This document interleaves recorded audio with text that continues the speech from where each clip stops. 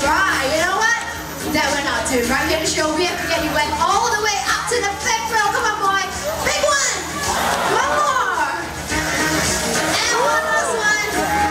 There you go. Boy, Carlos.